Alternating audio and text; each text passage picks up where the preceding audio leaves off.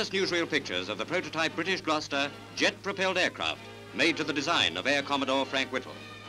The RAF flew the first squirt planes ever to go into action against the enemy.